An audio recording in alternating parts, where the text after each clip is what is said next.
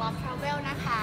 ตอนนี้นะคะพี่แอนก็มาอยู่ที่โจฮันเนสเบิร์กแล้วนะคะ แล้วก็มื้อเที่ยงมื้อนี้นะคะ เราก็มาทานที่ร้านที่เรานำลูกทัวร์นะคะ มารับประทานกันนะคะเออบรรยากาศภายในร้านนะคะเขาก็แบบมีหลายสไตล์นะคะ มีทั้งกริลมีทั้งอาหารญี่ปุ่นอะไรอย่างเงี้ยนะคะ สิ่งที่เราสั่งได้คือครอครัวเรามีมีหลายชาตินะคะ แต่ว่าเมนูวันนี้นะคะ เดี๋ยวก่อน แนะนำก่อนที่จะทานนะคะ ก็แนะนำก่อนนะคะก็ที่นี่ชื่อร้านกล่องนะคะอ่าตรงนี้นะคะก็เมนูวันนี้นี่เยอะมากเพราะว่าหิวมากตอนเที่ยงนะคะอ่ามื้อแรกไอของที่หนักๆของวันนี้นะคะก็ ก็คือมื้อเที่ยงนี่ก็จัดหนักก่อนเหมือนกันนะคะ อันนี้คือสเต็กเนื้อแกะนะคะ หรือว่า lamb chop นะคะ มีทานคู่กับเฟรนช์ฟรายนะคะ มีผักเป็นข้างเครื่องเคียงแล้วก็มีซอส pepper ให้นะคะ โอเค อันนี้พี่แอนสั่งแบบว่าแรงเลยนะคะ เพราะว่าตัวพี่แอนเองเนี่ยชอบทานแบบเนื้อที่มันจะแบบอยากได้เนื้อแบบ juicy juicy นะคะ เดี๋ยวจะลอง แล้วก็มีไวน์ด้วยนะคะ ต้องทานด้วยกัน น้องตั้มนะคะแนะนำนะคะ เขาแนะนำว่าทานไวน์ขาวดีกว่านะพี่อย่างงี้โอเคก็ไวน์ขาวผสมไวน์แดงก็แล้วแต่โอกาสนะคะ แต่ว่าวันนี้คือไวน์ขาวเขาก็นำเสนอนะคะ เดี๋ยวเราลองชิมเเนื้อแกะก่อนนะคะว่าเป็นแบบไหนนะคะ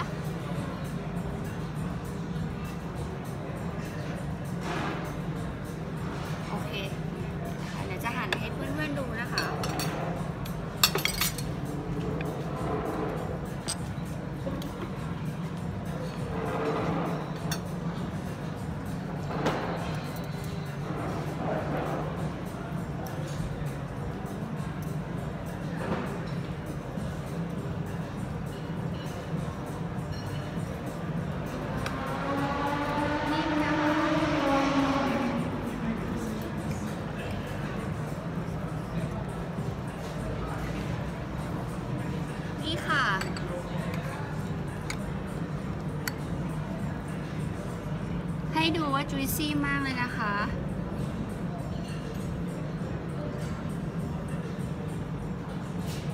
โอเคค่ะ เดี๋ยวลองชิมนะคะว่าจะอร่อยไหม แต่ว่าอย่างด้วยส่วนตัวนะคะจะชอบทานแบบว่าไม่ต้อง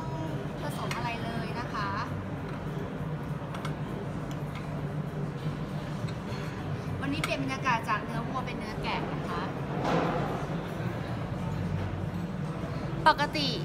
เนื้อแกะที่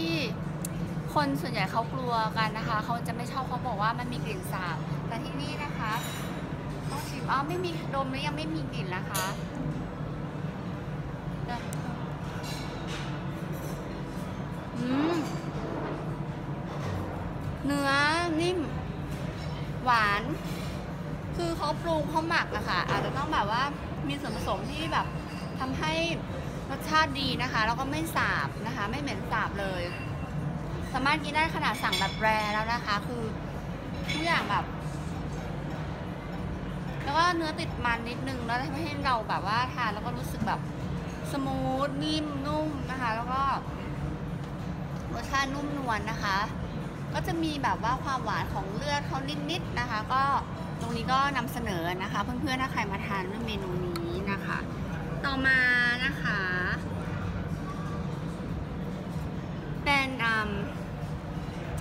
อันนี้ก่อนก็ได้ง่ายดีอันนี้ก็จะเป็นกินเล่นนะคะก็คือเกี๊ยวซ่าเขาก็มีสไตล์แบบทั้งออาหารอิตาเลียนนะคะ แล้วก็จีนญี่ปุ่นนะคะ ไทยอะไรอย่างเงี้ยนะคะ นี่เราก็จะทานนะคะว่าในเกี๊ยวในเกี๊ยวเนี่ยเขาห่อด้วยอะไรบ้าง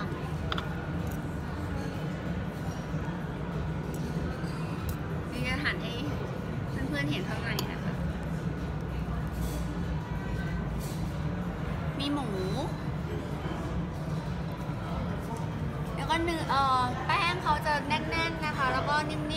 แต่ว่าจะมีความแข็งกรอบข้างนอกนิดหน่อยนะคะ เดี๋ยวจะลองชิมแล้วนะคะว่ารสชาติเป็นยังไงบ้างจิ้มกับน้ำจิ้มก็แล้วแต่เราจะเลือกนะคะว่าจะกินแบบไหน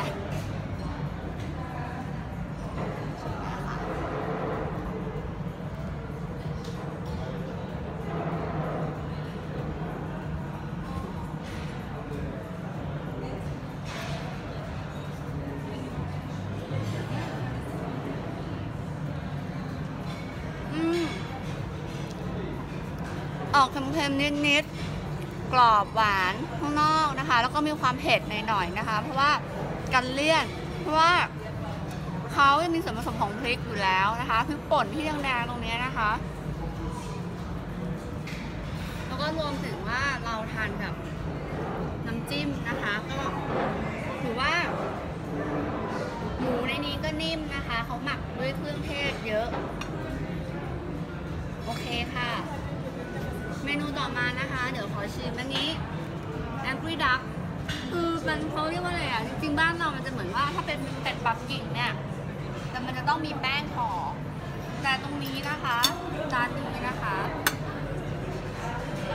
อ๋อเจอแป้งแล้วนี่แหละค่ะเป็ดปักกิ่งบ้านเรา เอ้ยเป็นแบบสไตล์ของเขาอะนะคะ ก็คือเขาก็มีเมนูพิเศษมาให้ก็คือเป็นปักกิ่งนั่นเอง แต่ถ้าไม่มีแป้งเนี่ย เราจะเรียกเล่นๆกันเล่นๆว่าเป็นเซี่ยงไฮ้นะคะเอ่อเมนูนี้นะคะก็ชื่อว่า Angry Duck นะคะ นี่เราก็จะมีเนื้อเป็ด อันนี้หนังก็จะกรอบนะคะ หนังดูกรอบมาก แล้วก็มีแป้งนะคะ เราทานกับแป้ง แป้งนี่ก็คือมาให้เราเป็นเข่งหนึ่งเลย ถ้าไม่พอก็ต้องก็สั่งเพิ่มได้นะคะ โอเคค่ะ เดี๋ยวพี่แอนจะห่อแล้วนะคะ ขออนุญาต ขออนุญาตเช็คมือแล้วนะคะ เพราะว่าเทดิชันแนลมาก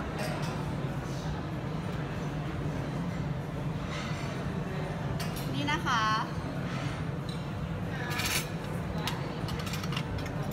จะเริ่มนะคะ เพราะว่า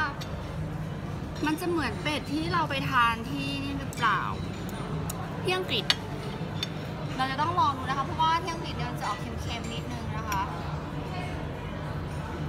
นะคะขอที่อังกฤษที่ร้าน Four Seasons นะคะ ที่เขาฮิตๆกันอะไรอย่างเงี้ย แต่ว่าเดี๋ยวเราจะขออนุญาตใช้มือนะคะ เพราะว่าจะได้แบบถึงอรรถรสนะคะ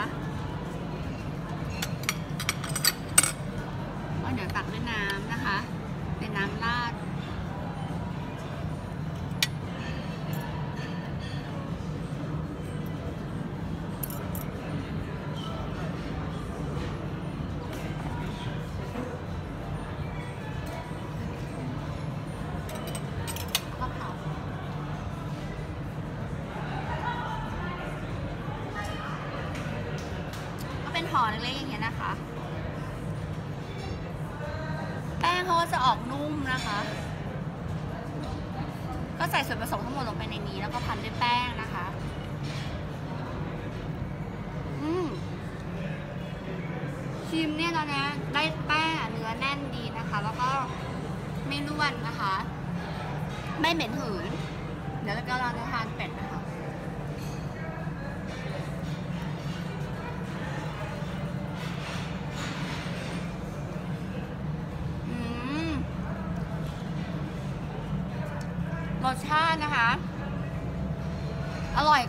ไม่ใช่ว่านะคะอร่อยกว่าตอนที่ไปกินที่อ,อังกฤษนะคะ เพราะว่าที่นั่นเนี่ยสไตล์แบบ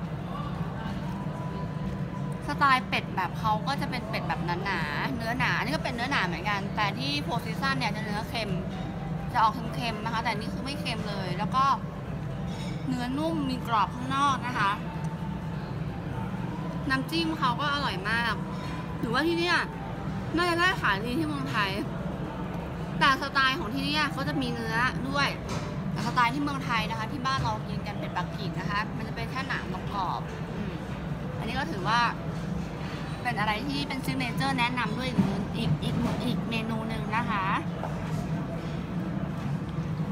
โอเคค่ะ ต่อไปนะคะ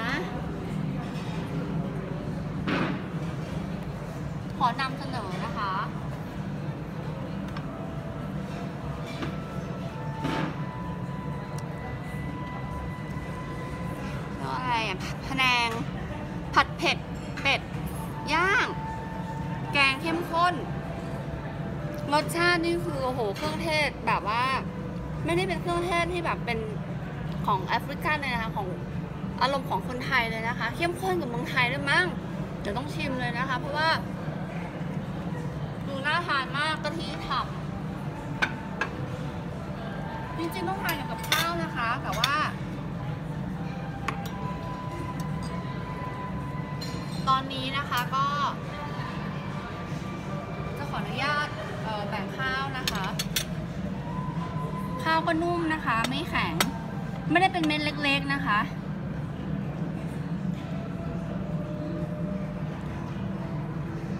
โอเค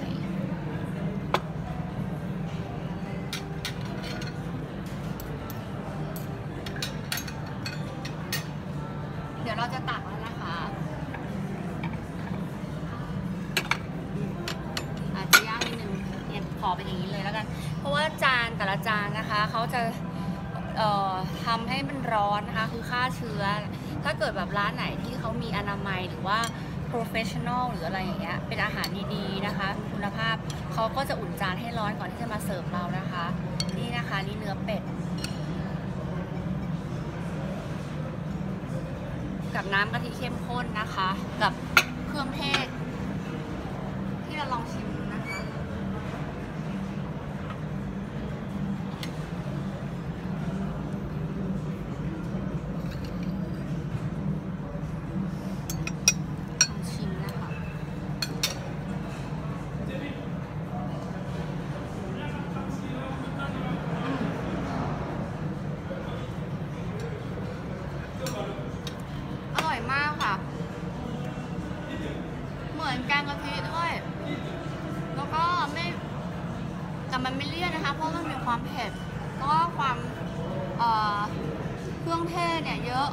ทำให้รู้สึกว่าเออทำให้เรารู้สึกเฮ้ทานได้ แล้วก็มาถึงประเทศนี้เนี่ยมีอาหารหลากหลายให้เราเลือกนะคะ เมนูนี้ก็หลากหลายเป็นคนละสไตล์กัน สั่งมาใครชอบแบบไหนก็ให้เพื่อนๆชิมนะคะก็คือก็แล้วแต่เพื่อนๆนะคะเพราะเมนูแต่ละอย่างที่เรานำเสนอนะคะ ก็เป็นเมนูที่ทางร้านเนี่ยเขาทำแล้วก็ถือว่าอร่อยมากๆเลยนะคะยังไงก็อย่าลืมร้านคองนะคะ ก็ตรงนี้ก็นำเสนอเพื่อนๆว่าอร่อยจริงๆ ค่ะการันตีแล้วก็อาหารมีคุณภาพบรรยากาศดีนะคะ วันนี้พี่แอนขอตัวไปทานก่อนนะคะอ้ออย่าลืมนะคะสั่งไวน์ด้วยนะคะ